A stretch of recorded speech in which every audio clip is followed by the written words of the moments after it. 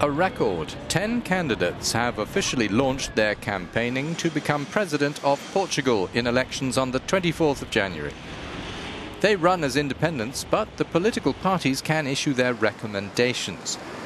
Among the frontrunners, polls favour Marcelo Rebelo de Sousa to win, possibly even in the first round. He enjoys the support of the centre-right Social Democrat Party.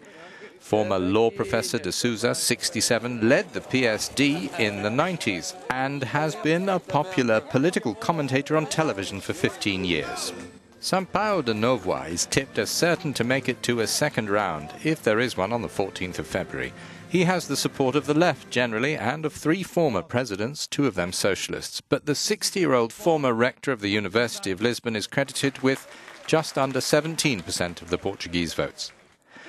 Maria de Belém, 66, is also seeking votes from the left, but the Socialist Party has not given her its explicit support Partly this is because Prime Minister Antonio Costa encouraged Novoa to enter the running, and partly also since Belém is a more conservative leaning type of socialist.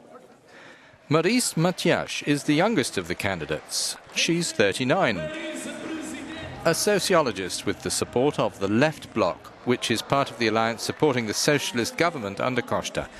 The former Euro MP says she is pro Europe but against the weight of Berlin and Frankfurt within the EU. Edgar Silva, 53, a former priest, is also competing for left votes with the communists' support. This party is also in the alliance, keeping a socialist government in Lisbon.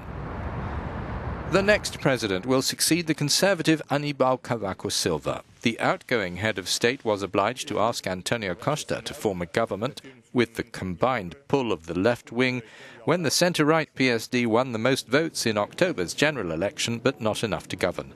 In Portugal, the office of president holds significant powers, such as to be able to veto laws.